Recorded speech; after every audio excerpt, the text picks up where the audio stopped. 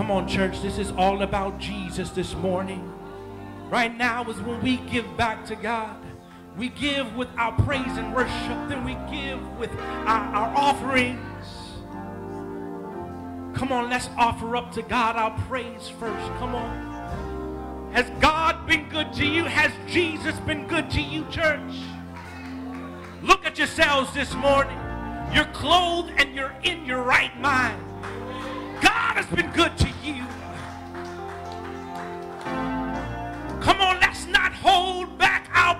To Jesus. Uh, he's worthy. He just gave his life for you and I. Oh, he's worthy, but he's done so much more than just die for us. Come on, don't hold back anymore, church. Let our praise break through. Let it break through all the lies of the devil, all the condemnation of hell, saying you're unworthy, you're unworthy. Jesus says you are worthy. That's why I gave my son. That's why I died for you, because I see the worth in you, my child. God sees your worth. You say, but I've fallen so many times. God said, but you've gotten back up. And here you are this morning. I love you, my son. I love you, my daughter. Come on, lift your hands to the God that loves you. Surrender. I surrender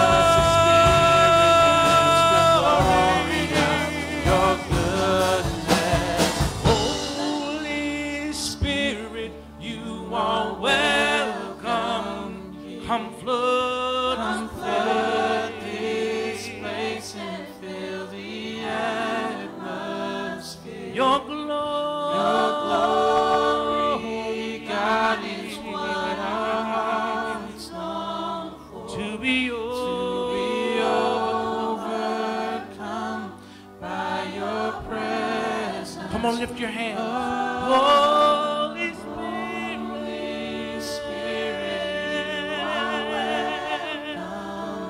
Come flood Come this flood this place and fill the atmosphere.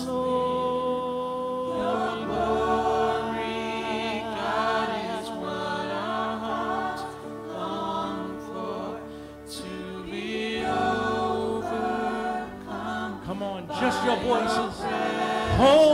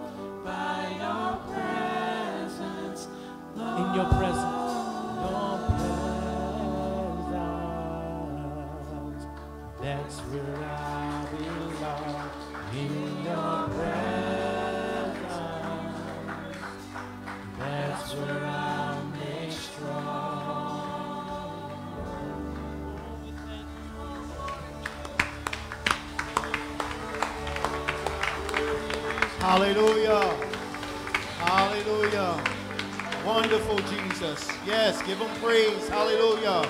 Wonderful Jesus. Glory to God. Glory to God. Hallelujah. Oh. We serve a good God. Amen. Amen. Thank you. Thank you.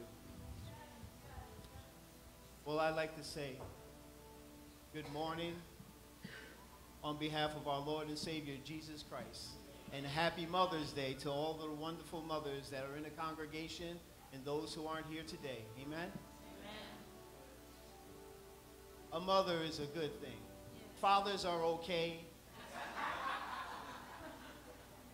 But there's nobody like your mom.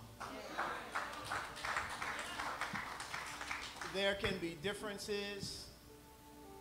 There can be struggles. They can put you out of the house. They can bring you back in. But the great and wonderful thing is, we only get one.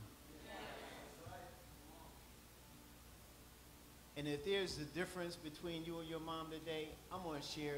Please reach out to them and tell them that you do truly love them. Because we do only get one. Amen? We're going to take a look at Proverbs chapter 31, verse 25. And, and this kind of shares a little bit about, about women and um, how a godly woman is. So we're going to start at verse 25, Proverbs 31. It says, Strength and dignity are her clothing, and she smiles at the future. She opens her mouth in wisdom, and the teachings of kindness is on her tongue. Amen? She looks well to the ways of her household, and does not eat of the bread of idleness. Mm. Her children rise up and bless her, her husband also, and he praises her, saying, Many daughters have done nobly, but you exceed them all. Charm is deceitful. Got to watch that. And beauty is vain. But a woman who fears the Lord, she shall be praised. Amen? Amen? And that's what we do. We're going to praise our moms this morning. We're going to praise our wives this morning. Amen. Because we, we serve a wonderful God, a God who loves us and who cares for us. And he wants us to be able to know how much he does love us, how much he cares for us, because he put mothers in a place like that scripture says. Because without moms, I don't know where you would be, but I definitely, I probably would not be here. So take time to love on your mom, love on your wife, and let's lift them up in prayer. And lift up maybe some neighbors of ours who we don't know, um, who, who we know, or some we don't know, who don't know Jesus. Amen? Because God wants to bless them too. He wants to bring them into the kingdom. Father, we want to take this time to thank you, oh God.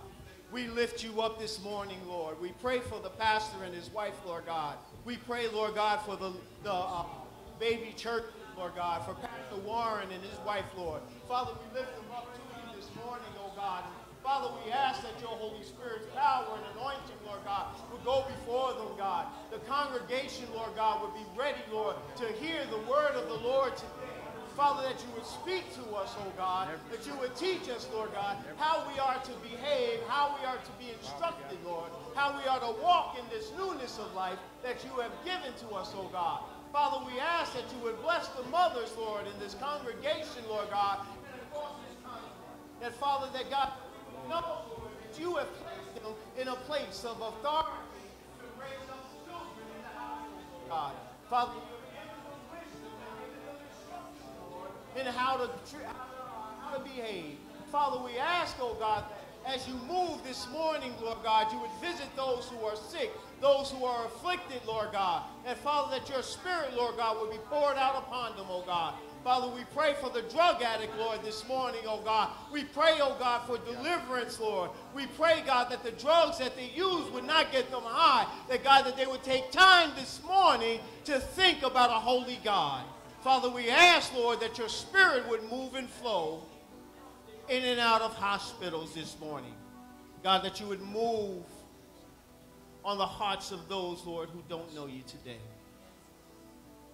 God, that they would hear that knocking on the heart and invite you in today. Father, we thank you and we praise you, Lord God.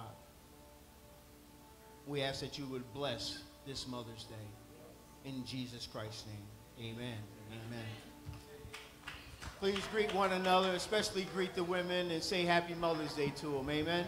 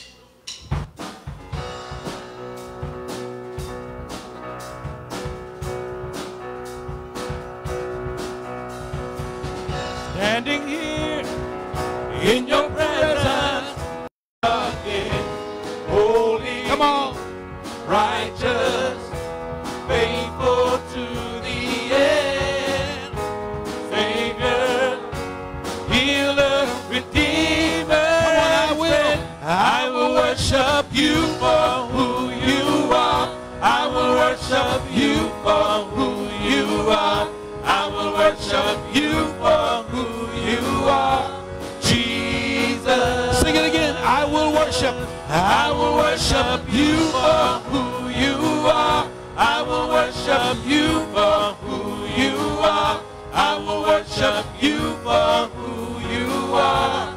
Jesus. One more time, everybody. I will worship. I will worship you for who you are. I will worship you for who you are. I will worship you for who you are.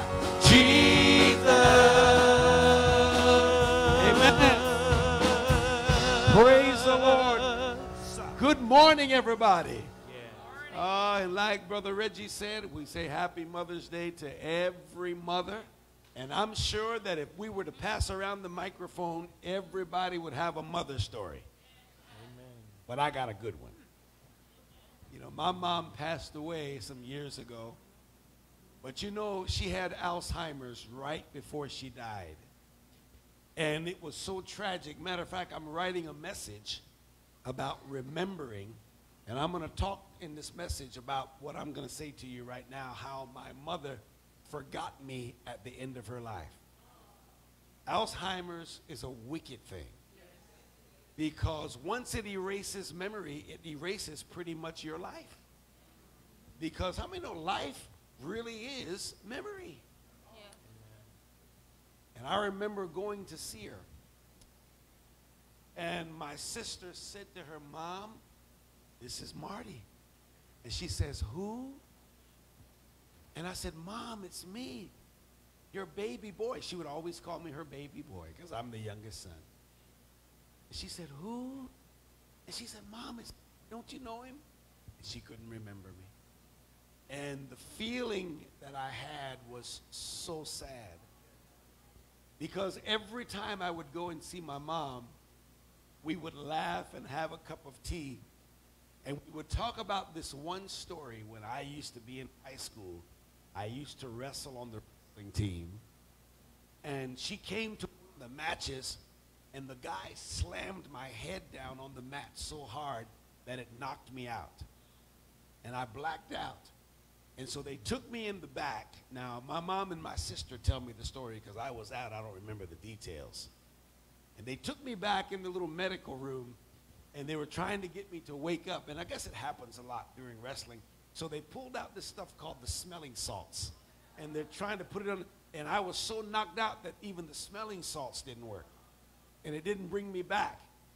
And about that time, my mom comes bursting into the medical room and they said, Ma'am, you can't come in here. Ma'am, you can't come in here. She said, Y'all better get out of here before somebody get hurt. She said, I'm his mother.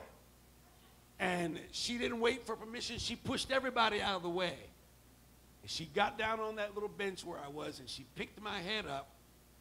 And she did what the doctor, the, the, the smelling salts couldn't do. She got me to open my eyes. Amen. And I remember the coach in the practice the very next week. He said, I don't know what magic your mama has. he said, but we were shaking you, we were smacking you, we giving you smelling salts. You wouldn't wake up. He said, but as soon as your mama took you up in her arms, he said, she started talking to you. He said, you opened your eyes. I said, cause that's my mama. Yep. Hey, that's called mama magic. Yeah. Hallelujah. And me and my mom would laugh about that every time we would get together because I would talk about, I said, do a little bit of that mama magic. And we would talk about it when she would cook. I said, that's that mama magic. Every time she would do something, me and her had this great, great laugh about how mothers have this magic that no one else has. And anybody here who has a mother, you know exactly what I'm talking about. Mama magic. Mamas can make money stretch more than an accountant can. Amen. Ain't it the truth? Mamas can have patience more than doctors can. Mama can come up with things that politicians can't come up with. Mamas can work magic. They can make something out of nothing. Woo! My mama can take chicken neck and she can make a meal that's better than a steakhouse. Hmm. Come on, that's called mama magic. Y'all know what I'm talking about. You give her some kidneys, some liver, and some and, and, and, and some chicken feet and stuff like that. Oh my goodness. And so we celebrate mothers not just because, like Brother Reggie said, you only get one, but because mothers, when nobody else cared, mothers cared. Yeah. Come on, when everybody else gave up, mothers never give up. And I am so grateful to my mom and my grandmother and every lady in here who is a mother. We so appreciate you because it's so true what Brother Reggie said. Without a mother's love and a mother care, none of us would make it here today. Nobody would be here. Let's give a hand to all the mothers. Come on.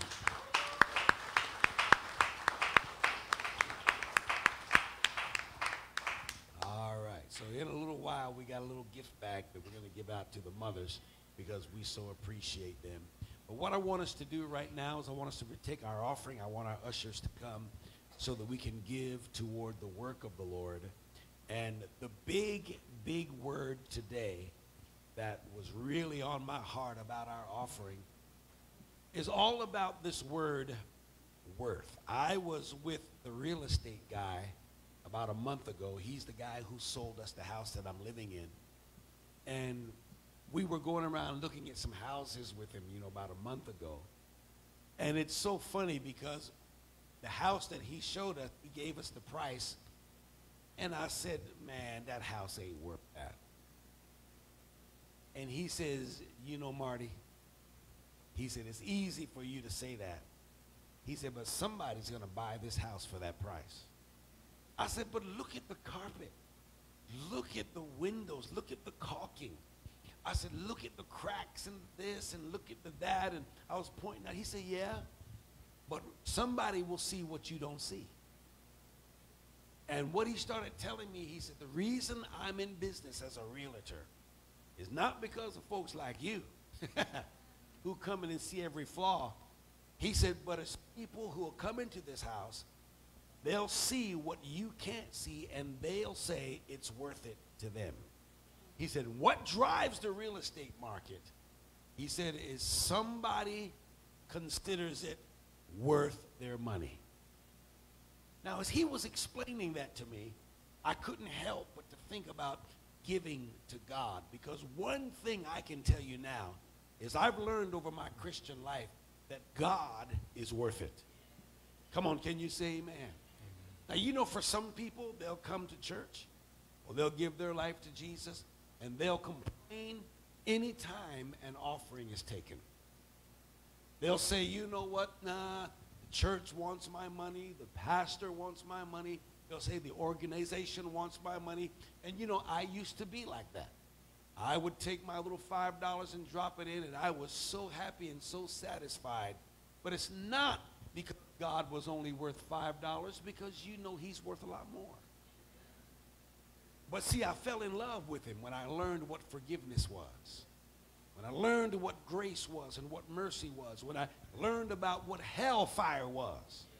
When I learned about eternity and, and forever, and I learned about the death of Jesus and the suffering that an innocent took for a guilty like me. And the more I listened to the word and studied it, the more I understood, you know, $5 is nothing for a Savior.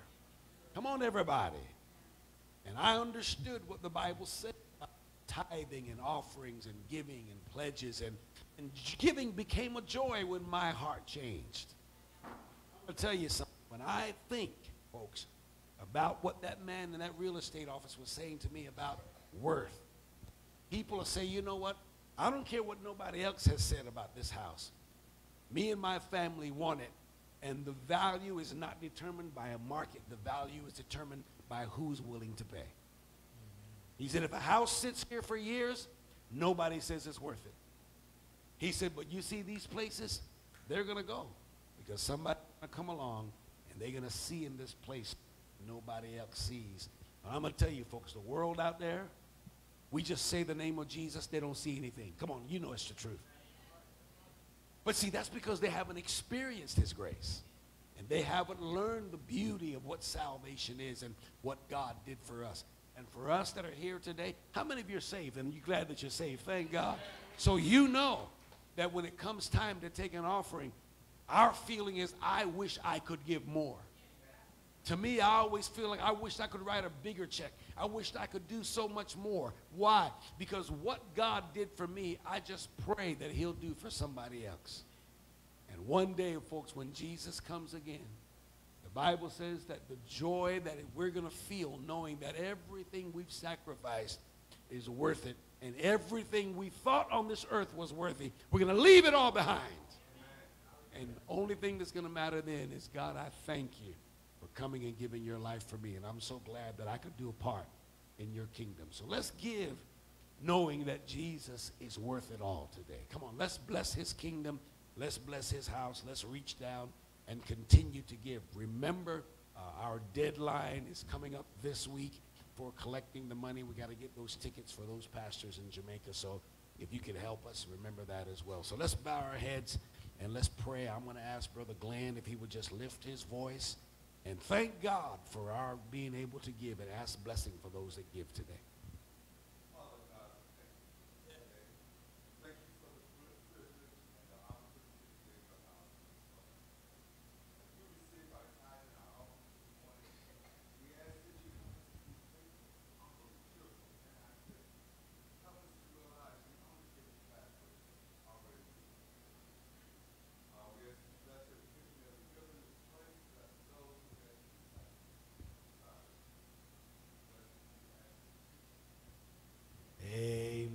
Come on, everybody. Let's bless the Lord. We appreciate you today. Come on.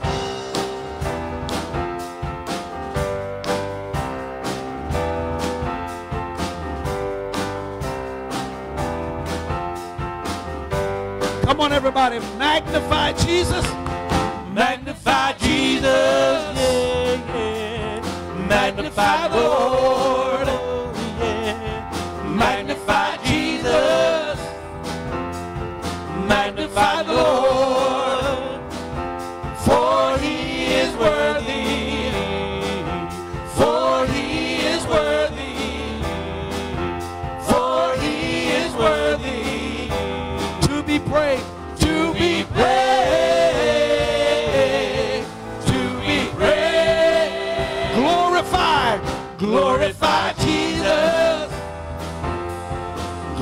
Glorify the Lord.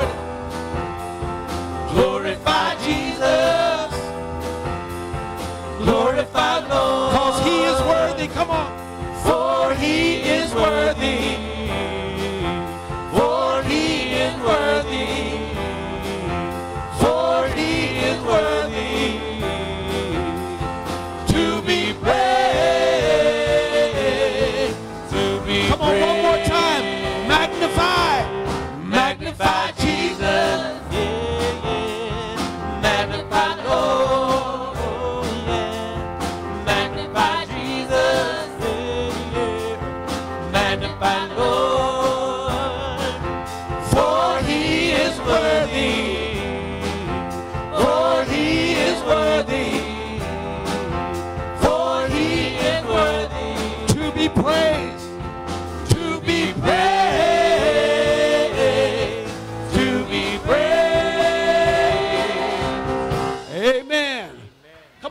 Everybody. Let's give the Lord a hand clap and just, just thank him today for the service and all of our mothers. Come on, put your hands together like that. Amen. Appreciate that.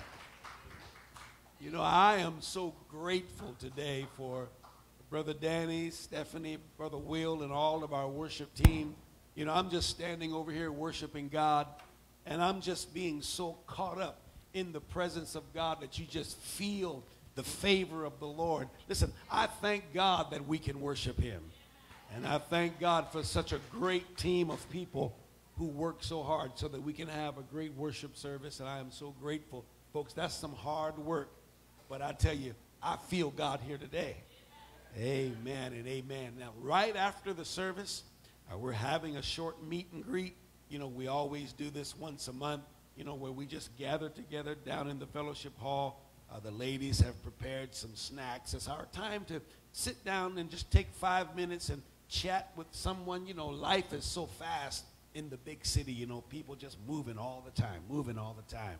But church is also a place of fellowship. Come on. Come on, folks. I mean, where you meet friends and you spend time and you share phone numbers and call each other during the week and encourage them in the faith. You know, when somebody's down, you pick them up. Hallelujah. And so that's what we spend a few moments for, just sharing our hearts, sharing our lives together.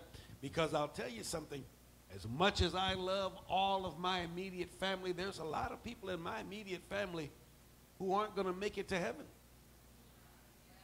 I sure don't rejoice in it. I share the gospel with them. I pray with them. I want them all to be saved. But I'll tell you what, your church family is your family. Where you come and you fellowship together and you enjoy God's presence. And so let's strengthen each other. Something might be said that'll hold you, that'll help you throughout this week. So spend a few moments with us after the service for the meet and greet. So immediately downstairs right after the service, you don't have to just dash out right away, please. Remember all of the church services? Service tonight is our second service, 6:30, and then open the building for prayer every Tuesday night. We just open up the church and we just come and pray. And then on Wednesday is Bible study and we outreach on Friday. So every week we keep the same schedule, just continue to pray, asking God to lead us, and then we share the gospel one with another. So if you can join us for those services, please come back and you will be blessed. Amen. hey, summertime is coming, so we're getting ready for the boot camp. Uh, Brother Danny so graciously every year organizes the boot camp for any teenagers. What's the ages?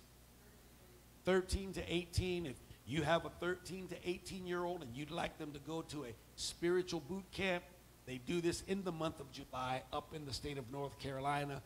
Brother Danny usually drives them up on Monday and picks everybody up on Friday. It's one week. And so it's a nice boot camp where they, they, they, they take away everybody's cell phone. Listen, if, if, if it's just for that alone, it's worth it. Just to see somebody from 13 to 18 without their head down in a cell phone, that's a glorious thing. So take your phone away for a week and make kids talk to each other and listen to the Word of God. They do activities. They have chapel. It's a, uh, you come back always with great testimonies of things God has done in these teenagers' lives. Many of them give their life to Christ during the boot camp. It's a beautiful time. So if you would like your kid to go, uh, please let Brother Danny know. He'll give you the application, give you all the information. Uh, just make sure that you start early. Don't wait late. Every year, people wait to the last minute. We, when they get filled up, we can't get anybody else in. So let's start now. If you want your kid to go see Brother Danny, he'll give you all the information and he'll give you the slips and everything that you need for that. Remember, tomorrow, Monday, we're flying out to the nation of Belize. Amen. This is our missionary trip to the nation of Belize. Some of you, I asked you to do your geography because some people are saying, Pastor, where is Belize? My Lord. So listen, get your map out. Come on. Do a little bit of homework and look at where the nation of Belize is. It's just between Mexico and Central America, right on the Gulf, Gulf Coast. It's a short flight, about three hours to fly there. And it's, it's worlds away from Atlanta, Georgia. And we have a number of churches there and a baby church there. And we're going to go there and minister on the ground, do some outreaching, do some preaching. And so it's going to be a great missions trip. And so pray for us. Uh, we're going to be flying out tomorrow, and it's going to be Monday to Thursday and flying back on Friday. So next Sunday, we'll be able to stand up and give you another good report. Listen, every time we do a missions trip, if you can't go, your prayers can go with us.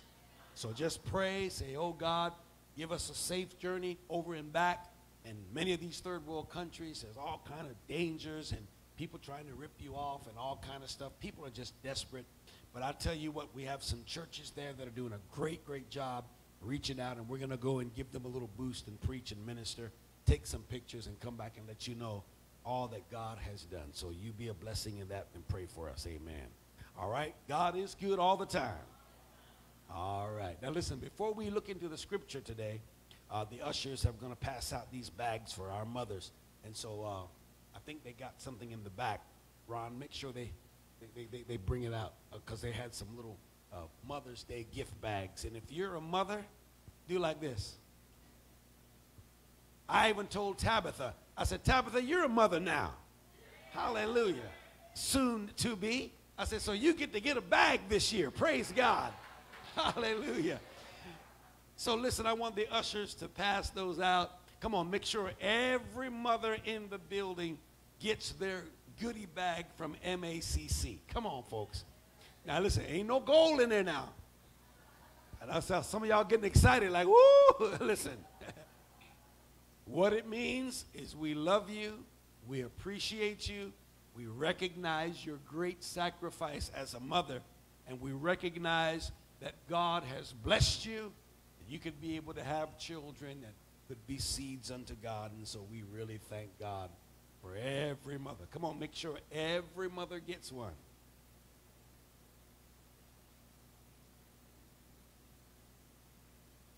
Now, when I say mothers, I'm talking real mothers now. Come on. I know everything has been redefined in our generation. Come on, so we, we, we, we don't want to go there right now, but I want every mother to make sure you get one. Hallelujah. Thank you, Jesus. Everybody good?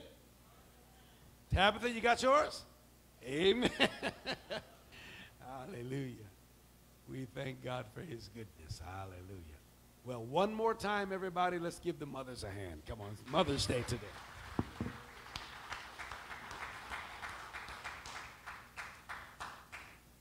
Hallelujah. Now, our scripture reading this morning is going to come out of the Bible in the book of Genesis. I want you to get your scripture and I want you to look with me at the book of Genesis, chapter number 29. And I'm going to read verse 32 down to verse 35. Come on, this is the Old Testament, the book of Genesis, chapter number 29, everybody. And let's just read these short verses, 32 down to verse 35. Hallelujah. Well, they said it was going to storm all day, but we had a little shower this morning, but right now it looks like we're going to have a pretty good day. Amen. God is good. Genesis chapter 29, starting in verse number 32. If you're ready, say praise the Lord. All right. Follow it closely. Remember, if you don't have a Bible, the scripture is posted on the screen right behind me. You can just read it there and follow with us. Genesis 29, verse number 32 down to verse 35. Okay, here's what the Bible says.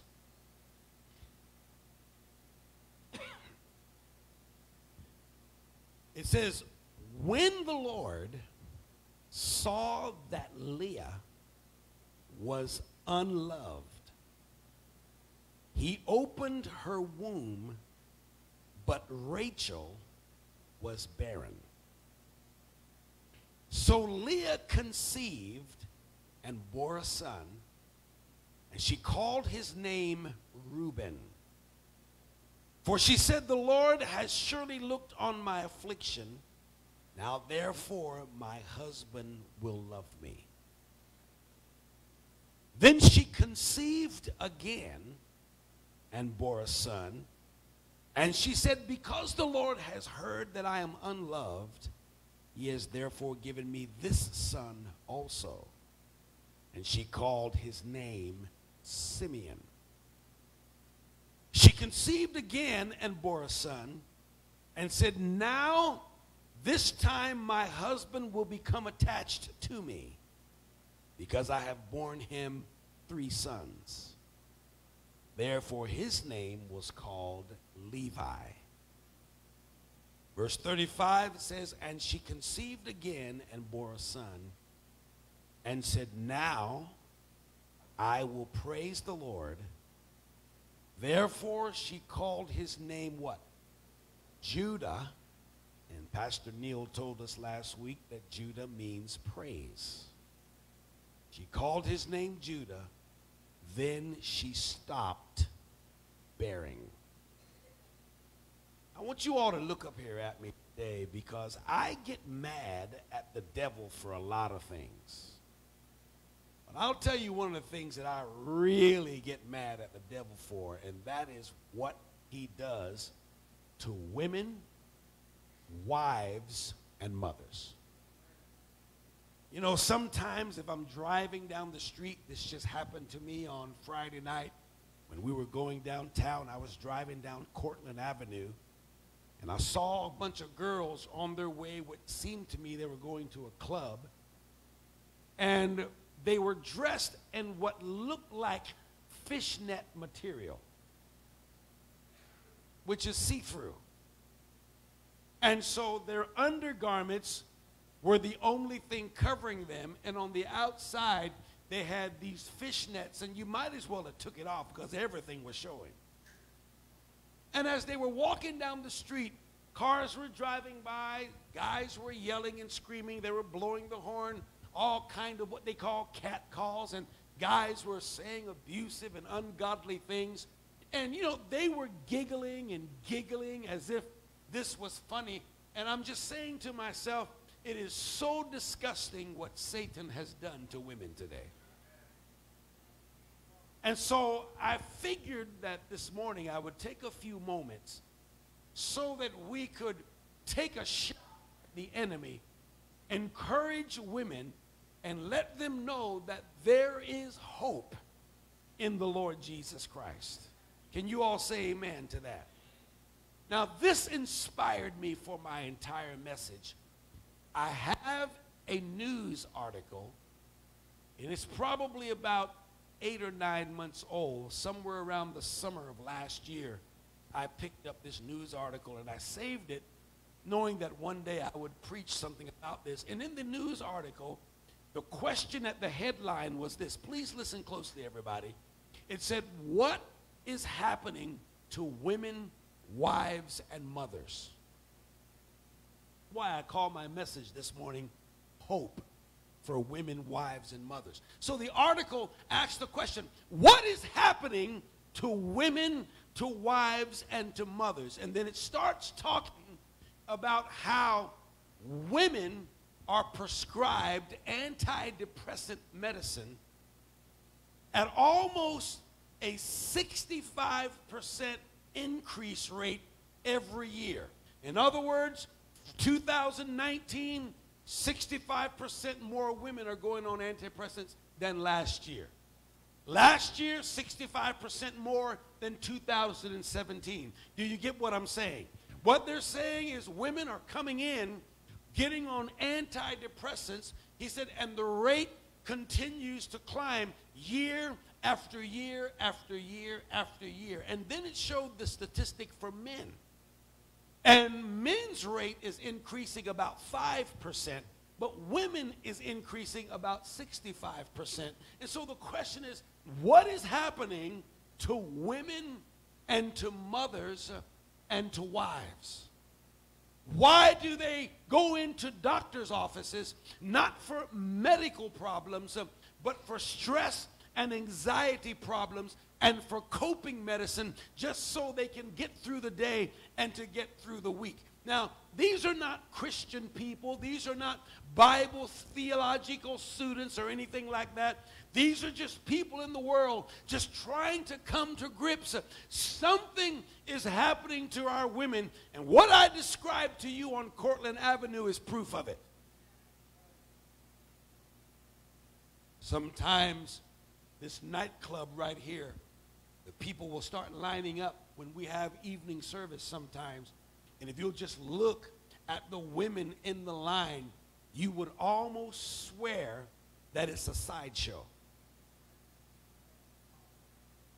The way they are speaking, the way they are dressing, the way they are behaving, and you're going, you know, whatever happened to women, you know, being women of virtue, where a man could open the door for them and say, Excuse me, ma'am. And I said, you know, something really has changed. So the article really has something to say. Let me throw you out some information that'll help you understand why this means so much to me this morning.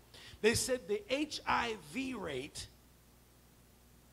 the new diagnosis, is more in women than in men. HIV. Now, most of you know that back in 1981, HIV was discovered to be rampant inside the male homosexual community. And matter of fact, they didn't call it AIDS back then, they call it gay related immune deficiency syndrome. In other words, it was happening inside the male gay population. But all of a sudden, the new cases have skyrocketed among women. What's happening to women? It said that women now are filing equal amount of divorce petitions as men.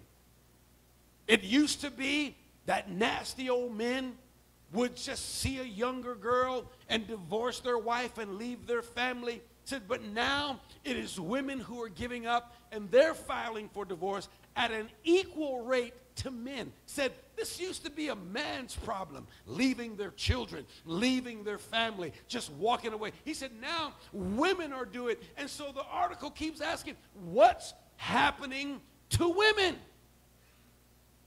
Y'all getting quiet. I can tell some of you are a little bit either interested or upset.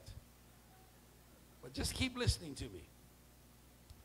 It says here that when it comes to these antidepressants, said the greatest increase in women comes in teenage girls. Listen to this. Teenage girls,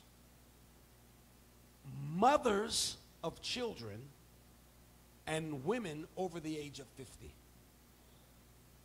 Now, just process it for a minute.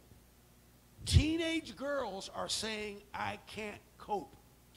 Teenage girls ought to be in the most joyful time of their life. You know, they're just finishing high school, you know, just getting ready to go into the workforce, got everything to look forward to, but instead of that, hanging out with their friends and having slumber parties and pillow fights. They're going in and getting antidepressants. Uh, they feel like they want to take their own life. They cannot cope. Here is the question What is happening to our women? The other group that they notice an increase in is mothers. They said mothers are changing. Mothers used to lay down their life. Mothers used to sacrifice. Mothers used to give up everything. If I got to stay home to take care of my kids, that's fine. Whatever I got to do. If I can't eat, my children will eat. Do y'all remember when mothers used to be like that? Say, but what's happening now is mothers can't cope. They're shaking their children to death.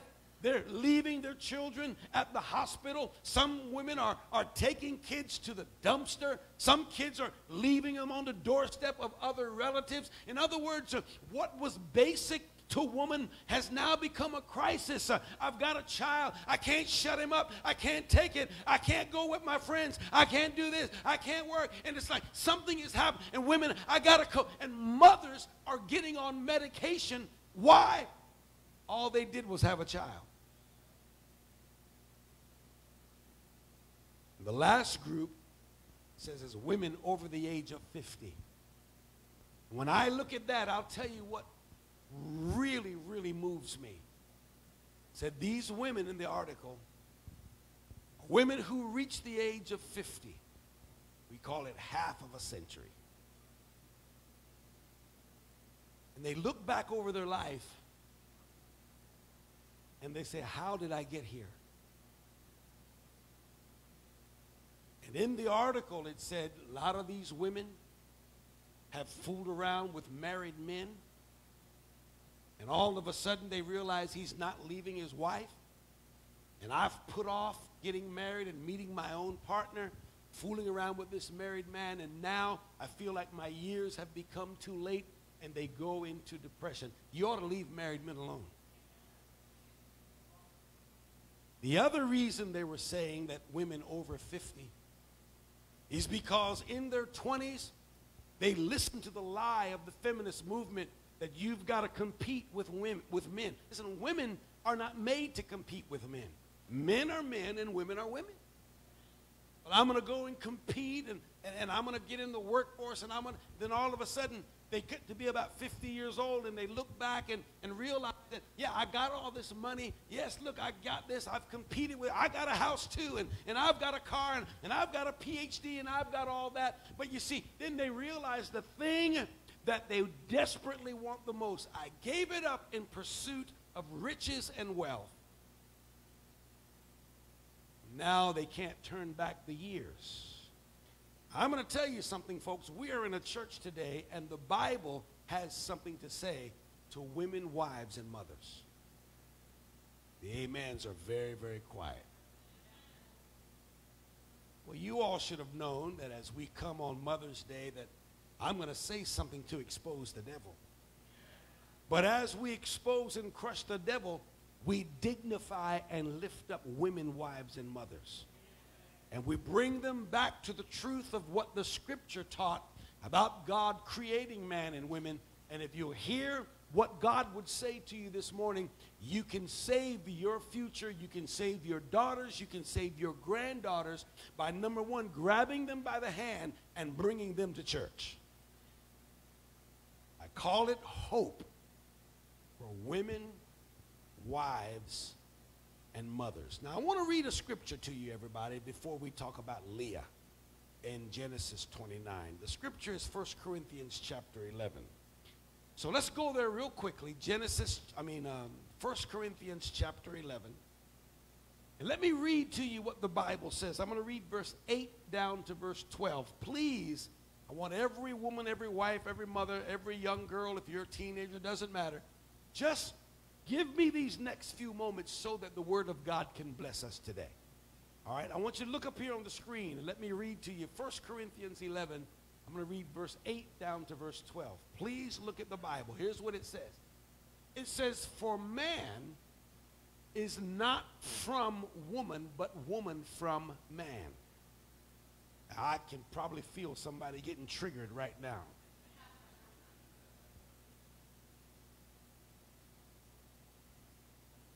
Nor was man created for the woman, but woman for the man.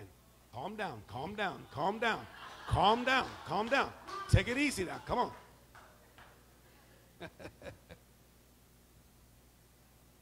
it says, For this reason, the woman ought to have a symbol of authority on her head because of the angels. This word angels is the Greek word principalities, which means spiritual beings. It's not necessarily talking about angels that come to bless you and protect you. It's talking about principalities, evil, demonic powers that want to harm you. Now continue reading and then I'm going to come back and talk about it. Says, Nevertheless, neither is man independent of woman, nor woman independent of man in the Lord. For as woman came from man, even so man also comes through woman. Y'all ladies ought to be, come on, we're getting back where we need to be now. Y'all say amen. Said we couldn't exist without you. Remember James Brown said, it's a man's world. Y'all remember that? it's a man's world. But it wouldn't be nothing without a woman or a girl. Go ahead, James. Go ahead. For as woman came from man, even so man also comes through woman. But all things are from God. Now, here are the lessons that this one passage wants us to leave here with today. Listen very closely. Number one, it says, A woman came from a man. She was taken out of a man's side. Say amen. That's number one. Number two, it says that a woman was made for a man. God made a man, said it's not good for him to be alone, and he made a woman for a man. Number three, it says a woman ought to have a symbol on her head because of principalities. In other words, there are demonic powers that are attracted and are specifically dispatched to harm women. That's why in the Garden of Eden, the devil came to attack the woman. And it said, because of this, it says a woman ought to have a symbol on her head that you know what? I am under a man's protection So you're not coming here to trouble me. If you're going to harm me, you're going to have to come through the man who God has sent in my life to protect me. In other words, he said, women don't stand alone. He said, because these attacks are going to come after them, there is a symbol on their head that lets evil principalities know that, you know what, she is covered, she is protected. I am thanking God for this. Here's another lesson it says that in Christ, men and women need each other. You're not going to hear that in the universities today. What you're going to hear is, I don't need no man. Well, I'm sure glad that you ain't God because God says that you do. And then it says finally that in Christ, everything changes when Christ comes into your life because all of the difficulty and the, what we call sexism and discrimination and male chauvinism and, and, and female rebellion, he said all of those things, uh, when it comes to Jesus Christ, God changes it all. Why? Because when Jesus is Lord, you don't have to express your hurt and your anger toward women or your hurt and your anger toward men. You come to Jesus and God gives us a better way. Today, folks, I read that scripture because I simply want you to know that in walking with Jesus and in obeying God, men and women can work this thing out. Hallelujah today. Now, me and my wife have been married for 37 years. Let me tell you all something. Listen, we are so different. And if it wasn't for Jesus,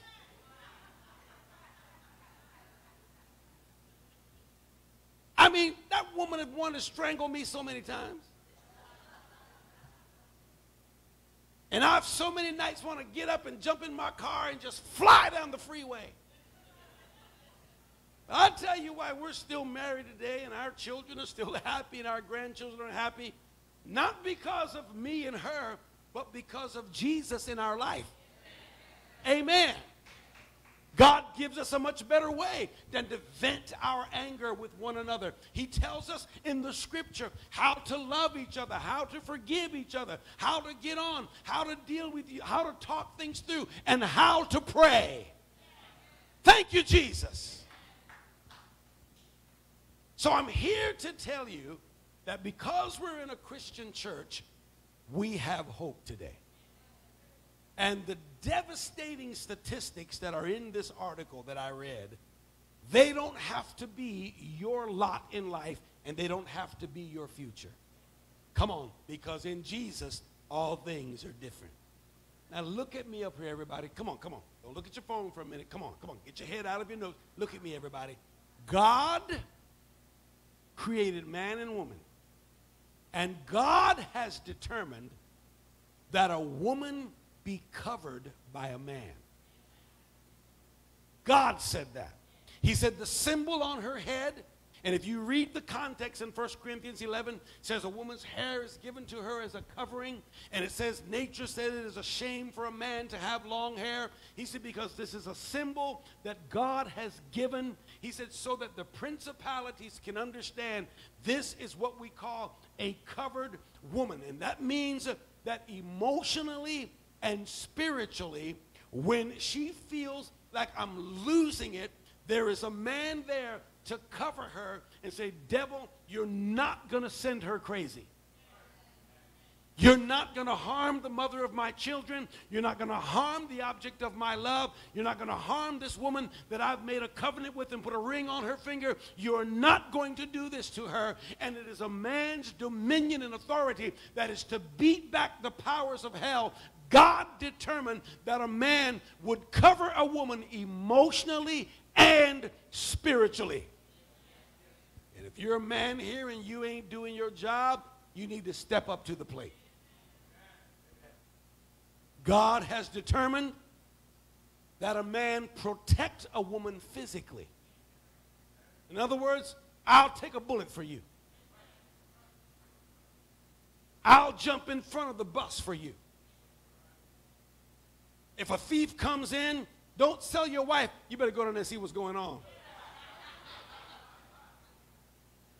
No, you put your wife in a safe place and you go down there and confront the thief. What's wrong with y'all, brother? Anyway, let me keep on going. God has determined that a man cover a woman emotionally and spiritually, that a man protect a woman physically, and that a man provide for a woman materially. Boy, Marlene is with me, amen. Hey, I like that. now we know we live in an age of two income households, and I'm so grateful that a lot of women work and they make it happen, you know, and they help out. But I'm going to tell you something, folks. If somebody is not going to work, it ought not to be the man. I'm just telling y'all how it is. I said, if somebody got to stay home, it ought not to be the man staying home. Now, we, we can go into that a little deeper at another time. But I, I can't mess with that right now. But I at least need y'all sisters. This is Mother's Day. Y'all say amen.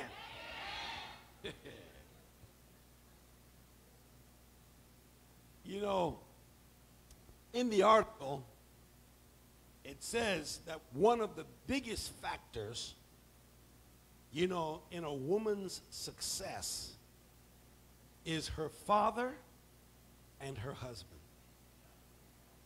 Some of you might have seen the little thing that I posted this past week about the woman who owes all of her success not to feminism, not to lesbianism, or not to anything like that. She owes all of her success as a wife, a woman, as a mother, she says, to her father and her husband. She is right in line with what we read in 1 Corinthians 11. What she is saying is, I am safe, I am secured, I am healthy, I am joyful, not because I went out there and tried to make a way for myself, but because I had a father who protected and covered me, and he walked down the aisle and gave me to a man who is now my husband, who has taken over the job of providing and protecting me. You'll have to do a Bible sometimes as to why in the New Testament God is so adamant that the church takes care of widows. There's a reason for that. Because here are women who have lost their provider and their protector. And what he's saying is the church can't see that and pretend it's not there. He says she is out there, and the principalities have honed in on her vulnerability. And he says, and if the husband has died early, or he crashed in an accident, or, or whatever happened, and the Lord has, has taken him home to heaven, he said, you have to step in and make sure that woman is provided for and protected. And he used the word widows indeed. Women who love God and have gone to church, uh, their husbands have been separated from them. He said, Don't just ignore them. He said, Because they are women of God, because God has determined that men not only protect women physically, but they cover them emotionally and spiritually and provide for them materially. Now, I want to move on, but I need an amen before I do. One of the, listen, I tell you, I get mad at the devil for a lot of things, folks. But what he does to women, wives, and mothers is, horrendous. And everybody who loves God ought to rise up and say, whatever I can do to right this wrong in the name of Jesus, I'm willing to do. Last year, there was a sad story in the national news. Story of a woman in Tennessee. I'm sure you can probably still find the story. The woman killed her four children and then she killed herself. Now, when they investigated, it's like what mother would kill four children? And the interesting thing is that sometimes when mothers kill children, they're little babies who annoy them, but these were four teenagers. She killed four teenage children and then turned the gun on herself and killed herself. They said when they did the autopsy on these four dead teenagers, they found out that this woman had fired 34 shots. You know, all it takes is one. So this is more than just, you know, an emotional killing. I'm talking about something violent and deranged. 34 shots into these four children. And then she killed herself. And upon investigation, found out that she was going through a divorce with her husband because the husband, like so many lust filled, unfaithful men, had started fooling around with some other young girl, left his wife and children, and he's going to go and do what he wants to. And I, I am so convinced today that so many of women's problems are really man problems. You all know what I'm saying. That woman and her children would still be alive if this was a godly man. If he came home every night to his wife instead of his little chickie babe on the side, that's why y'all messing around with social media and all this side chick stuff, and people just so get into this and so dramatic. All the devil is doing is he's desensitizing us to the wickedness of adultery. And today it's become entertainment. Oh, the side chick. Listen, four children and a woman are dead because of an unfaithful man. Ain't nothing funny about that. And it doesn't happen like it happens on social media when there's a little side chick and you're laughing, you know, as she's running down the street. Folks, that is fantasy. Reality is somebody is broken. Children are hurt, wives are shattered. And in this case, there are five fresh graves because of a lust filled, unfaithful man. When I say women problems many times are man problems, I don't say that lightly, folks. I say it with all dominion and with all authority. So when we talk about Mother's Day and, and the glory of moms and the beauty of who moms have become, I say that if we as men would take the biblical position that God has given us, we can give blessing, honor, and hope to every woman, every wife, and every mother in our life. Can I get an amen from you all today? Amen. God is good. Now, let's talk about the text that we read. It's Genesis 29. And I read you the story of a woman whose name is Leah. Now, some of you, if you haven't studied the Bible, you might not know too much about Leah in the scriptures. But Leah is the sister of a woman named Rachel.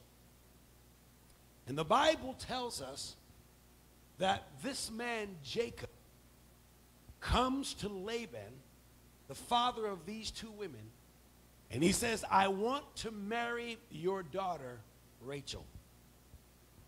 And he says, You can have Rachel to be your wife. And you all know the story that in the middle of the night after the wedding ceremony, he sneaks Leah into the marriage tent. And the Bible says in the morning when Jacob wakes up next to his brand new bride, when the sun comes up and the light hits her face, it is not Rachel in the bed with him, it is Leah. Her father pulled one over on the brother. And we'll talk in a minute about why he did that. But I want you to look at Genesis 29 again. We read these passages, but let me just home in on something that I think will help you. Genesis 29, look at verse number 17 quickly. Here's what the Bible says it says, Leah's eyes were delicate, but Rachel was beautiful of form and appearance. Now, the Bible is just so cautious here. And instead of saying what needs to be said, that's where you let God so much. God is so good. Here's what God says He says, Leah had delicate eyes. In the King James Version, if you're reading one of those versions, it'll say, Leah had tender eyes. Now, that doesn't say too much to us.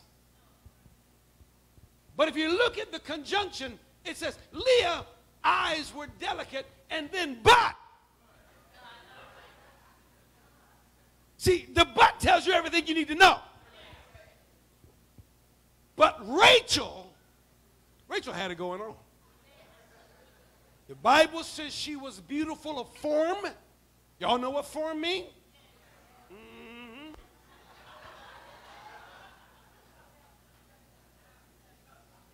Rachel was formed beautifully. It said, and not only was her form beautiful, it said, but she had a beautiful appearance. Which means Rachel was shapely and beautiful. But Leah, we have to pray for Leah.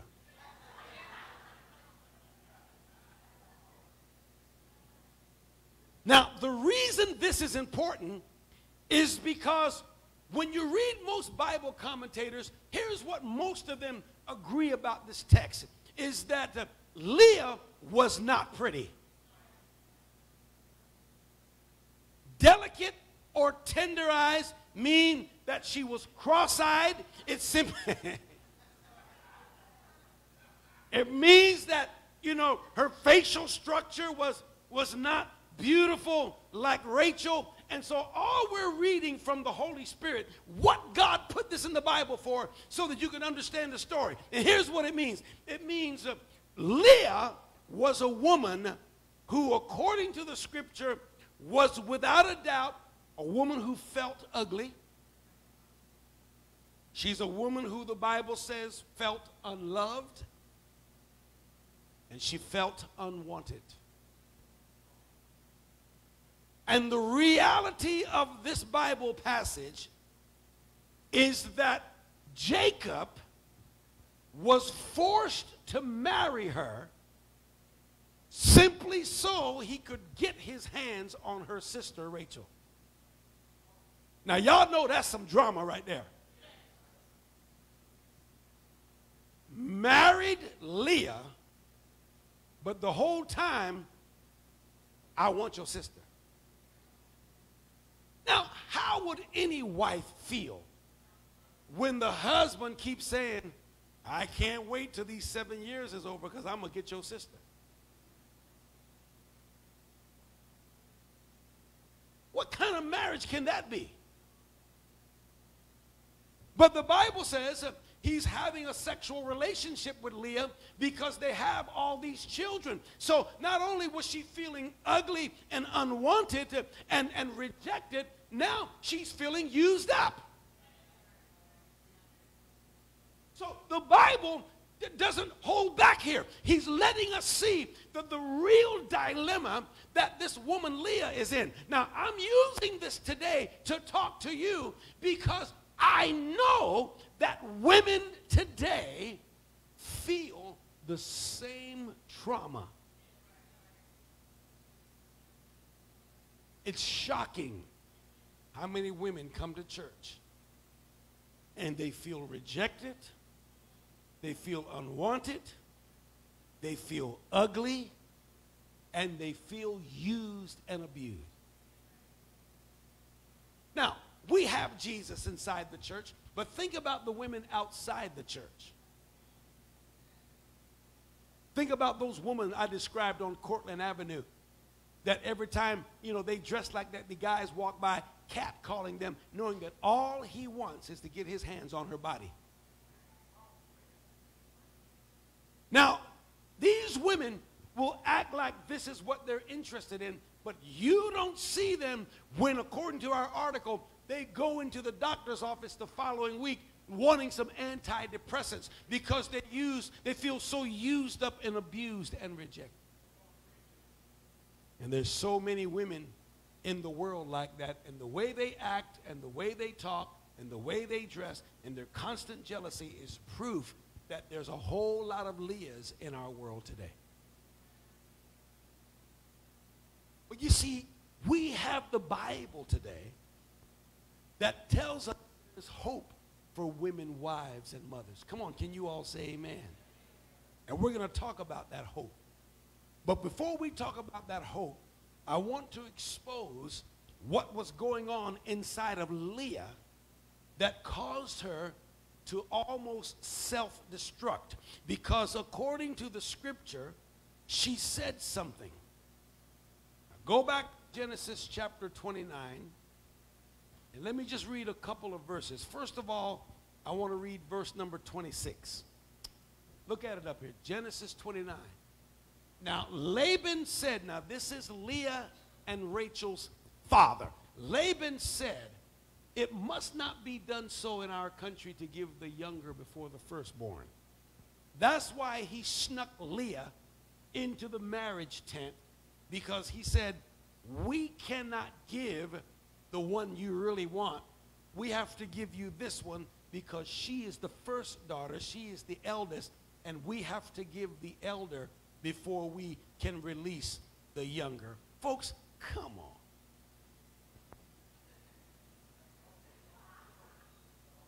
Now, that might feel good to him, but think about Leah. Oh, you just using me? You can get seven years of labor from this guy and you're just using me? This just adds to Leah's problem. Come on, you got to see where Leah is so that you can see what was going on inside of her head. Look at verse number 32. Genesis 29 32. It says, So Leah conceived and bore a son, and she called his name Reuben.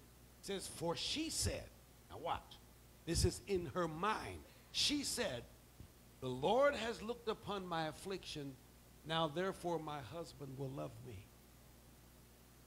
Folks, this is crazy thinking. Listen to what's in her head. I have gotten pregnant for this man who doesn't care about me. But maybe this child that will have his name will somehow make him want me. If y'all ladies can't say amen, just go, mm. That's right. Because a whole lot of women have tried that philosophy. I'll have his baby. And this will make him love me.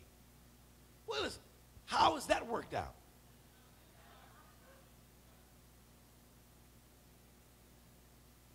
You know, I, I, I really feel for Leah because I've sat with women exactly like this who are, are so convinced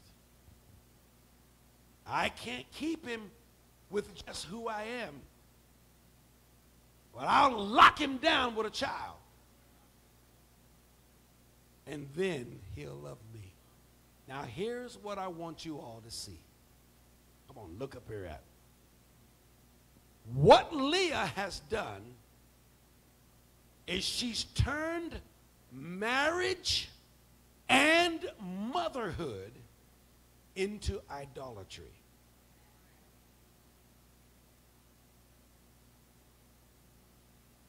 Listen to it again.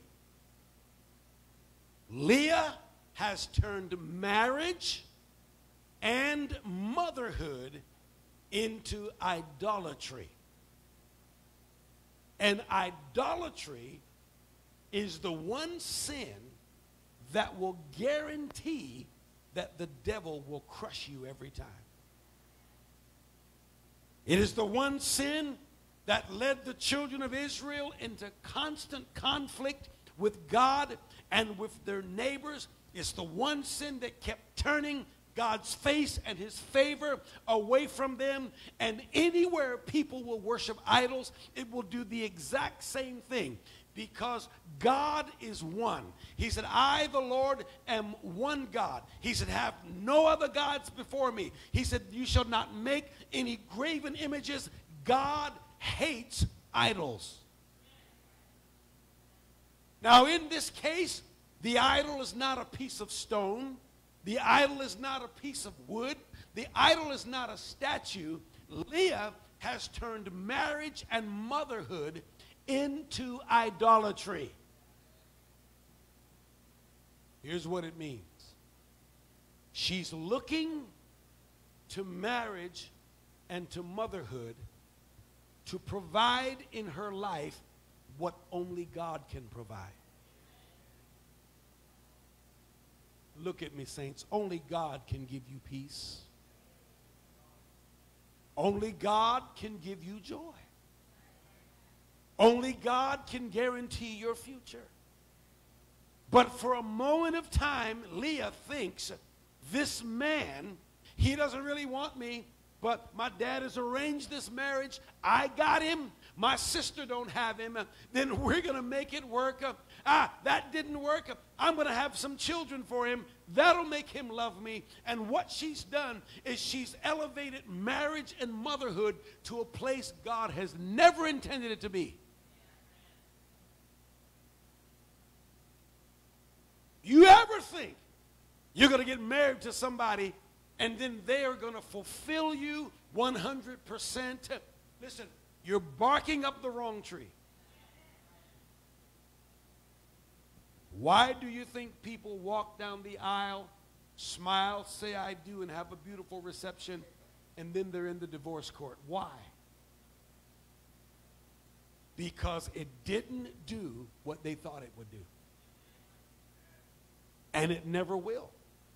You can never look to marriage as an idol.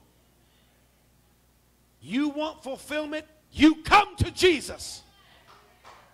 You want fulfillment, you get closer to God. Can you say amen? You want joy in your life, you draw yourself closer to Jesus. No man can fulfill you. No woman is going to fulfill you. You are made by God. So, in Leah's mind, marriage and motherhood has become something that is going to be unsustainable in its ability to fulfill her and take away the hurt, the anxiety, the rejection, the feeling of low self esteem, See, that marriage and those children are not going to do it. I'll tell you what marriage and children will do it'll give you more stress.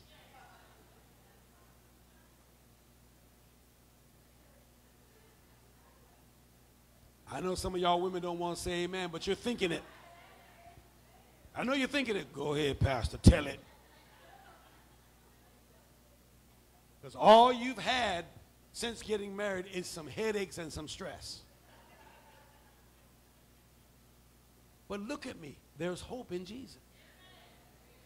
Because what God wants to show you today is that person you're married to is your partner, and those children are your offspring, but your joy is in Christ. Say amen, somebody. Oh, yeah, they're a big part of your life and a big part of your future, but they are not the ones that are going to hold you up and to sustain you. That comes from the Lord Jesus Christ and from Him alone. Come on, say amen. I can just hear poor Leah. She's laying on her bed at night, nobody's around. I'm so unattractive. I'm unwanted. And she's just sitting there, plotting, scheming. What can I do to bring the hope the love, the joy, and the acceptance I want. See, so many wives, mothers, and women, even though you're not going to admit it here publicly, that's all right. That's why we have an altar. But God sees your hurt.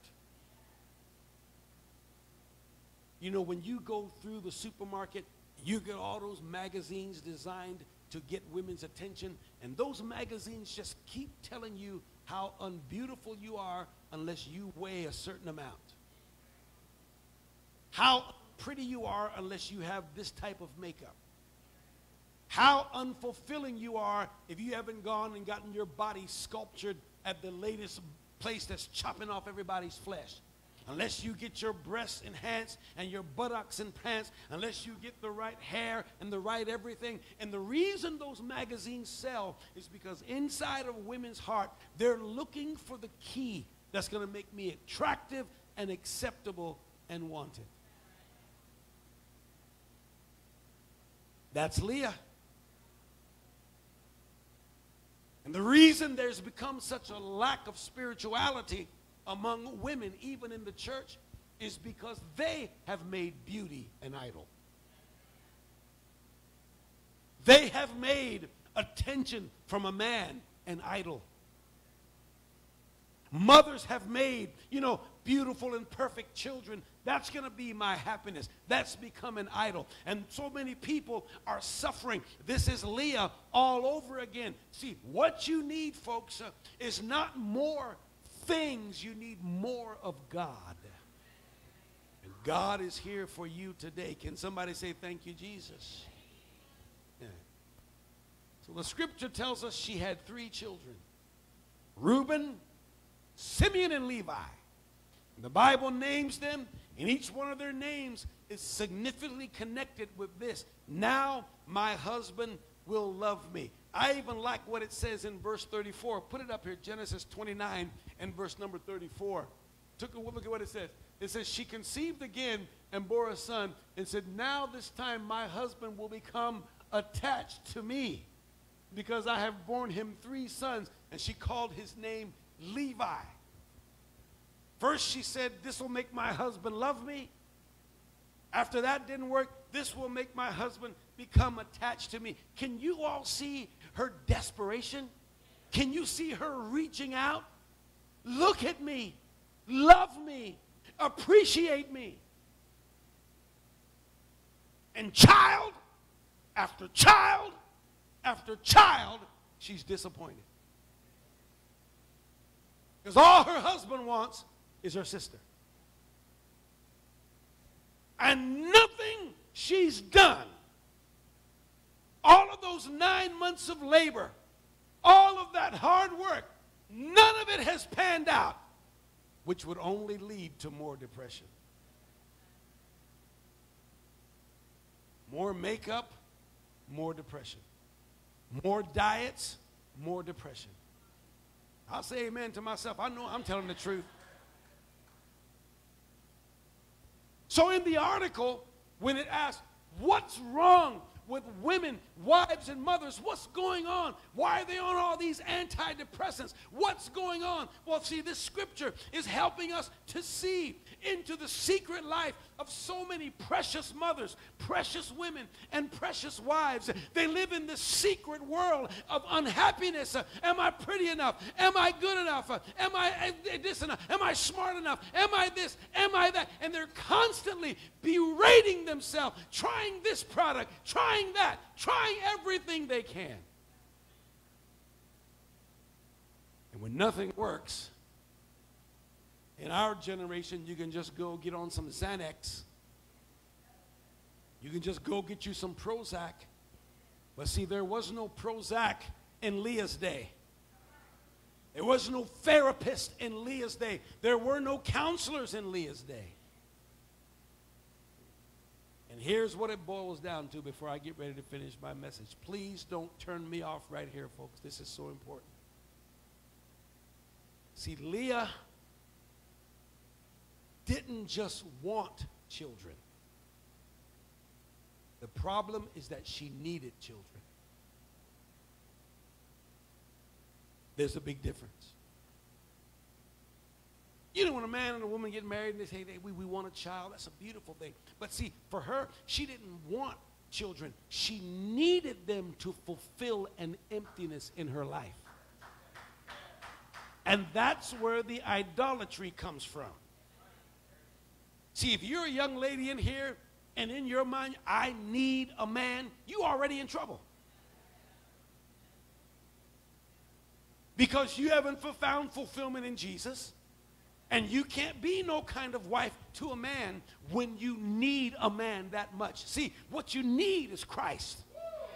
What you need is the mercy and the security that is found in Jesus. That's what makes you a good mother. That's what makes you a good wife. Can y'all help me by saying amen today? She made marriage and motherhood something God had never intended it to be. And it completely left her empty and broken.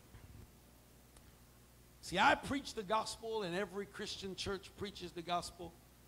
Because when you get saved, woo, woo, when you come to Christ, when you come out of the world and give your life to Jesus, there are two beautiful things that happen when you become a Christian. Number one, God forgives you. Hallelujah. See, Christianity is not you joining a church. Christianity is not you getting some church clothes and getting a big family Bible and showing up here. That is not what Christianity is. That's why I get so upset with, with Southern people in the Bible Belt because so many people sit in church, but they're not born again. When you come to Jesus, God forgives you. And when God forgives you, guess what that means? It means, number one, there is no condemnation anymore. Amen. You know that you've sinned. I know that you've sinned. God and the devil both know that you've sinned. But because of the blood of Jesus, you have been forgiven. And you come to Christ and He washes the slate clean. And what that means is nobody can throw your sins or your past in your face ever again. Why? There is no more condemnation. What? That means you can walk with your head high. You can walk with your chest out. I'm saved. I'm forgiven. I don't care what I've done in the past. God has cleansed it. Listen, that will take away the anxiety. Salvation gives you forgiveness. But I'll tell you what else it does it takes away the guilt. When you know you've done things to violate and to hurt people, and people walk around with this guilt, you know, I've ruined my family. I did this. I made these mistakes when I was a teenager, and you feel so guilty. See, God takes away the condemnation, but God takes away the guilt. Folks, that is liberating. Hallelujah. Oh, we can come to church and we can raise our hands. Come on. We can sing, I'm free, I'm free. Even though the devil is whispering in your ear, you know what you've done. You say, I don't care. I know what Jesus did. Can you say amen? The past is gone. It's liberating. Why? Because you've been forgiven. So salvation brings forgiveness, but here is the other thing salvation gives you it gives you acceptance. Amen. See, because Jesus takes you with all of your mess. See, this is not a kind of religion where you've got to fix up yourself before you come. See, when it comes to Jesus, he says, Come just the way you are. Can you say amen? And for him to say that, you know that you've got a bag of weed in your pocket. You know that you've got horrible things in your mind. You know you've been cheating people at work. You've been stealing money off of the top. You know that you've been lying. And he still says, Come. What that means uh, is that he accepts you. And here's what acceptance means never again do you have to perform to please somebody.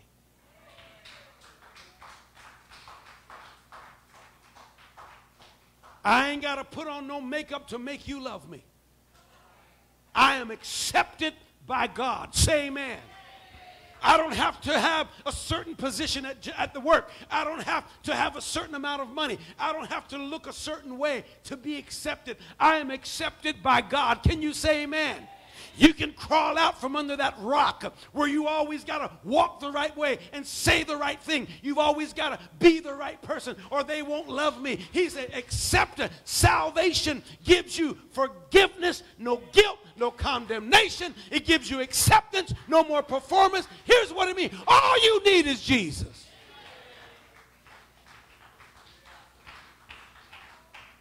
Did you hear me? I said, all you need is Jesus.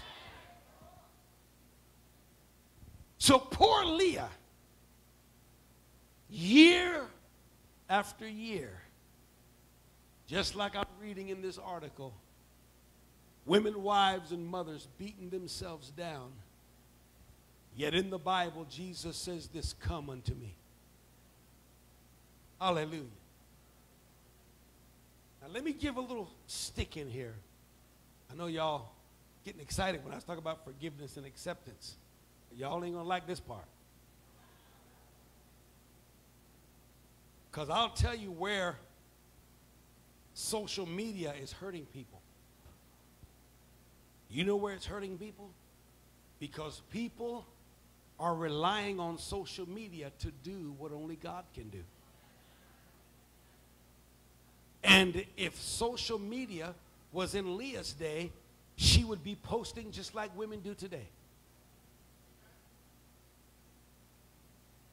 Here is me standing in front of the park.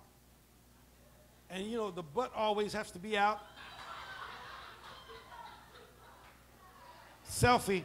Here's me. Here's me in a bikini. Here's me in some tight jeans. I told you if you can't say amen, just go, mm, and we, we, that's all it takes. Now you tell me what that is. Come on, just be honest. I'll tell you exactly what it is. I am, a, I am addicted. oh, I am addicted to the comments, and I am addicted to the likes. I am addicted to the views. Why? Because the more of those I get, the better I feel about myself. And you have made social media an idol. And instead of finding your peace in Jesus and finding your hope in your relationship with God, you're out there fishing for strange men to click and to like. And I'll tell you right now, if you're a husband or you're engaged to a woman and, and she's addicted to that, you ought to rise up and say, Stop that mess right now in Jesus' name.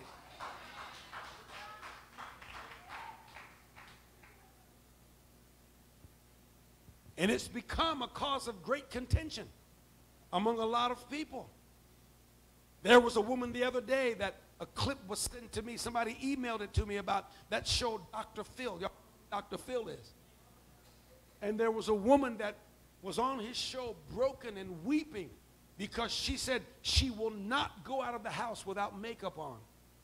And her mother and her sisters are trying to tell her, you know, she runs out of makeup, she'll sit in the house for two or three days. You know, if she doesn't have any money, she's not going out of the house. If she loses a job, she doesn't care. But I'm not stepping out into the front yard without some makeup on. Here is Leah right here in modern day.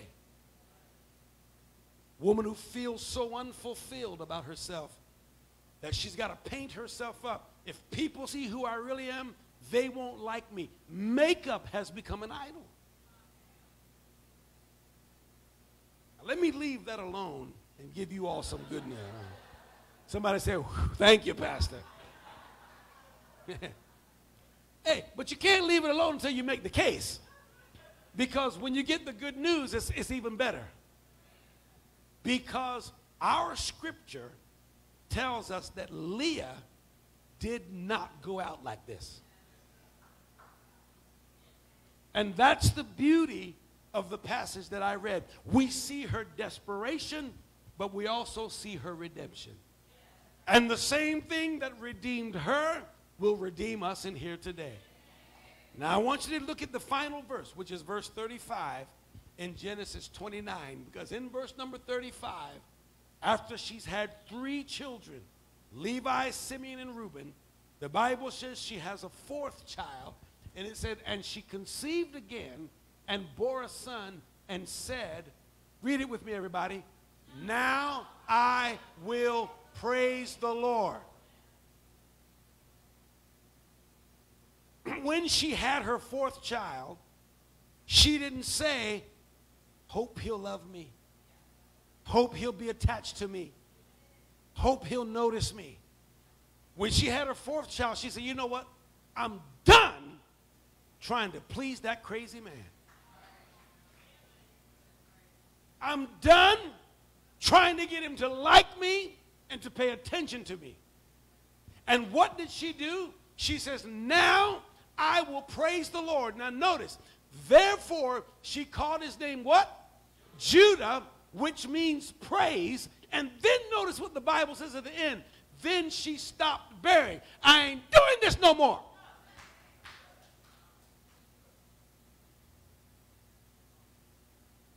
He start coming in the bedroom at night.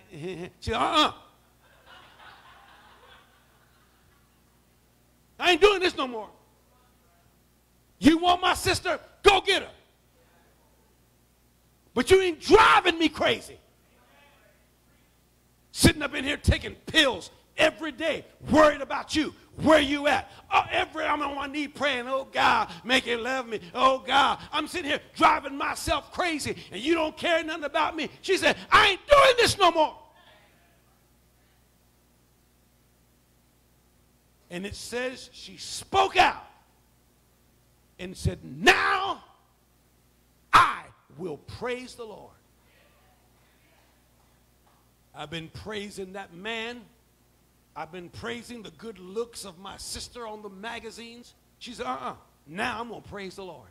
In other words, I'm going right back to what my mom and daddy them taught me. I'm going right back to what I learned in Sunday school. I should have stayed there all along and I'd have been all right. I'm going to go right back to God. Can you say amen? I'm going right back to the Bible. I'm getting right back in church. Come on, instead of going to the club, get yourself in church. Come on, say amen. Instead of trying to find it on the internet, get yourself in church. She said, Now I will praise the Lord. And she called that boy Judah. And every time she picked up that little baby, she said it praise, praise, praise. And she reminded herself uh, to look to God, to praise God, to worship the Lord, to lift him up. Don't look to a man, look to God.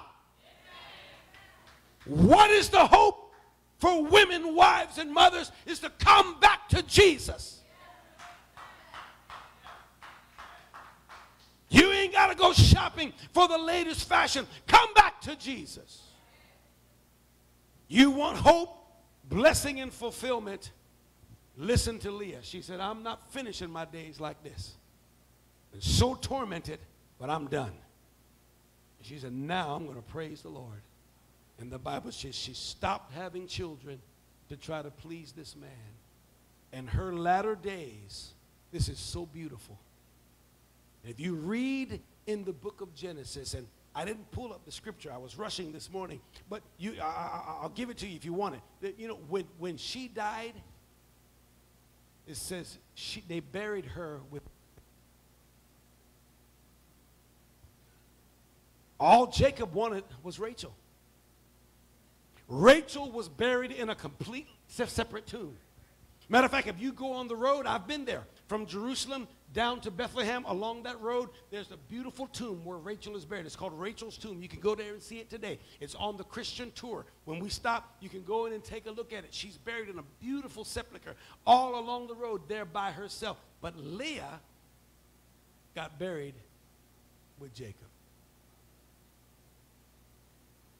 And what that means is her latter end was more joyful than when she tried to do it herself because she said, Now I'm going to praise the Lord.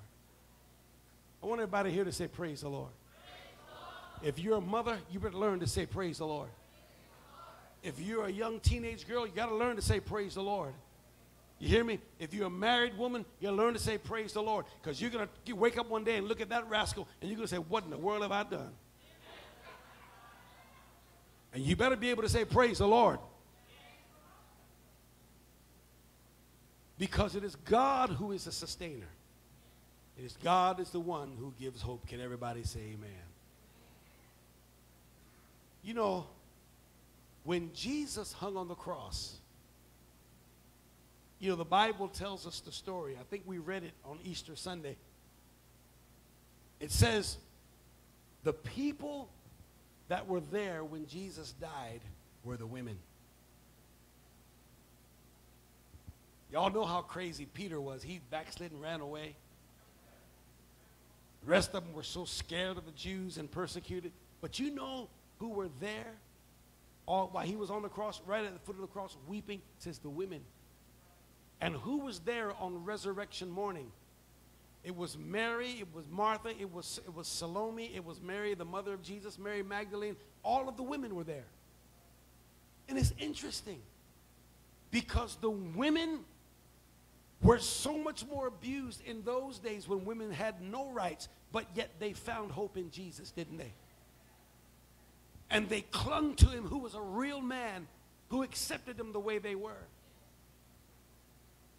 And even when the disciples, the great men of God, when they ran in fear, it was the women who stayed there and in the end were the first ones to give testimony that Jesus has risen from the dead.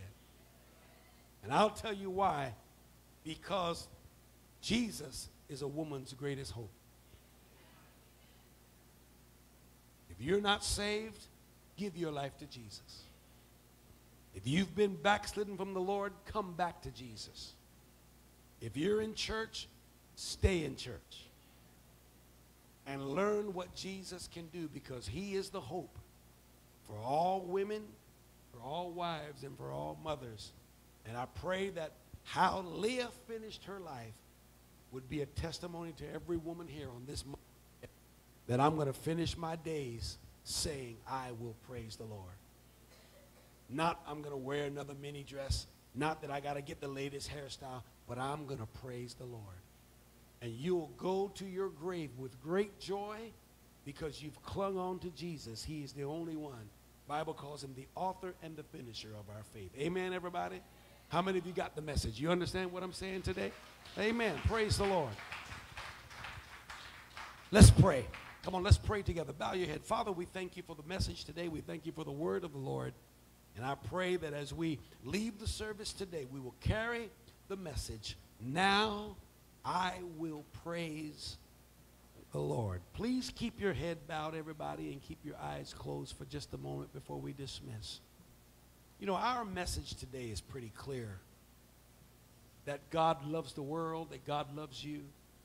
Our message is very simple that He is the only hope, that Christian faith and a relationship with Jesus is where your hope is, it's where your joy is, it's where your blessing is, it's where your future is. You're here today and you say, Well, you know, Pastor, I'm so far from God. That's okay. Because you're here today in the house of the Lord. And one thing that you can't deny is that the gospel tells how much he loves you. And regardless of who you are or where you've been, regardless of your failures and what you've done, nothing, the Bible says, can separate you from the love of Jesus. But today you need to come to him. You need to receive him as your personal Savior. You need to confess your own faith in him. The pastor can't get saved for you. Your mother can't get saved for you. Your husband or your wife can't. You have to give your own life to Jesus. And if you're a man and you're in here today, or if you're a woman and you know that you're not right with God, then it's going to be a sad life for you a life of searching, a life of constantly looking, trying to find that thing that can fulfill all of the emptiness of your soul but it's nowhere to be found. The devil and the world will promise everything. Money will be spent, miles will be traveled, trying to find what the world can never give you. This is Leah's story. She tried it all. And in the end, what did she do? She had to come back to Jesus. See, you're here today and you can say, Pastor, I want to come back to the Lord. I want to rededicate myself to Christ today. I want to come and trust him by faith and receive him. Open your heart to him today as we get ready to dismiss the service. Who in here today needs God? Who in here would say, Pastor, I, I hear what you're saying. And I understand the message of the gospel is that God so loved the world, me included, that he gave Jesus to die on the cross. And I realize that without Jesus, I am nothing. Without that salvation, I don't have a hope and a prayer. I'll search all throughout this world, but the searching can end just like it did for Leah by you just coming and saying, you know, Pastor, I want to pray. Would you pray with me? And I will pray with you. If you will just simply open your heart and say, Jesus, I need you tonight. Come on, I want to say a prayer for you. If you're here today, just keep your head bowed. Keep your eyes closed. Come on, don't look around for a moment. This is the moment where God is dealing with somebody and you say, Pastor, I never knew that I would meet God today like this. I didn't understand that your word today would minister so clearly to me. But I don't want to keep searching. And I sure don't want to make a fool of myself. I don't want men or women to use me anymore. I want God to save me. And I want to go to heaven one day with him. And the only way that's possible is by coming to Jesus Christ and receiving him as Lord of your life. There's somebody here, you need God today. And you say, Pastor, I want to give my life to Christ today. I want to turn from the world. I'm ready to repent. I want God to forgive me of my sins. If you want that, can I say a prayer for you? Slip your hand up and just wave it at me so I can say a prayer for you. Right there in your seat. I see one hand in the back. Anybody else? Quickly, I see another one in back there. Anybody else? Come on. I see another one over here. Anybody else? Come on. Just join these. Just raise your hand. There's nothing difficult about the gospel message. I need the Lord, Pastor. I need a new life. I can't live the way I'm living anymore. God has laid it all out. And I want to make peace with God. I want to get right with God. Anybody else want to join these? Maybe you're here and you've backslidden from the Lord. You used to go to church at one time and you used to really love God, but I know the temptation. Remember Leah? You're tempted. I'm hurting. Nobody sees me. Nobody loves me. And you go out there and you do all kind of things and sin just to get some self-esteem and some attention. But it's broke you. It's crushed you. And you say, I got to stop it, Pastor, like Leah. And I got to come to Christ. Come on, if you're here and you've backslidden from the Lord and you want to come back, can I say a prayer for you? Come on, raise your hand if that's you. Say, Pastor, I grew up in church. I knew what it was like to be a Christian. I knew what it was like. My mama and grandmama and my auntie and my uncles used to carry me to church, and I felt the love of God, but I got big and turned away, but I want to come back. Thank you today for the message. I receive it. Anybody else? Quickly, just raise your hand. Say, Pastor, that's me. Come on, don't fight the Holy Spirit. Don't fight him. Yield to him. Don't fight when God is dealing with you. No. It's a long, hard road to try to make somebody love you. But it's a harder road when you give yourself to them and then they betray you. So you want to know what's wrong with women, wives, and children according to that article I read? They open up a door at a young age and then they can't close it. And they're broken and crushed by this wicked world. Oh, Jesus loves you. And he wants to show you that love today. Anybody else want to come and pray? All right, here's what I want you to do. If you raise your hand, look up here at me. Look up if you raise your hand. My brother's here. Man back there, my brother. I want you to come here. Let me pray for you. Stand up. I want you to come here. Come here. Let me say a prayer for you. Come on. Come on. Come on. Come on. You raise your hand. Just come here. I want a couple of altar workers. Come on, my brother. Come on. Let me just say a prayer for you right here. Hallelujah. In the name of Jesus. Come on, young lady. Come on and kneel down right here. Come on, my brother. We thank you, Jesus. Oh, come on, young lady. God, she's going to say a prayer for you. Come on, just kneel down right there. Father, in Jesus' name, come on, kneel down right here. This is it. Come on, surrender. Hallelujah. Father, I thank you, Lord. Come on, just receive him today. Just receive his love.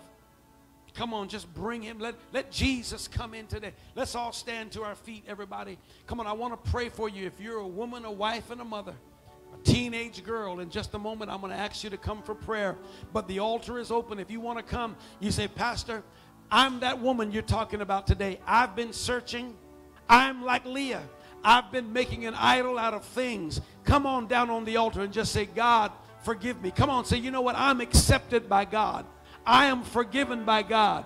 I don't need to perform. I don't need to prove anything to anybody. Come on and let the Lord love you. Say, God, I know who I am. You've saved me. You've forgiven me. I don't have to show anybody anything. I don't have to lean on somebody to make me feel like somebody. Come on. I need God. Yeah. Come on. Come on, what did Leah said? She said, now I'm going to praise the Lord. That's what God wants to hear from you. Just tell him, say, Lord, I'm praising you. I'm looking to you. I'm not looking to the world anymore. I'm not looking to things anymore. Come on, in the name of Jesus. Come on, while these are praying, we're going to sing this song. You love me. Come on when I was so unlovely. You thought me when I was lost. Come on, everybody. You showed me how much you really love me when you bought at the highest cost, at the highest. There's no greater love. Come on. And there's no greater love than this. There's no greater love than this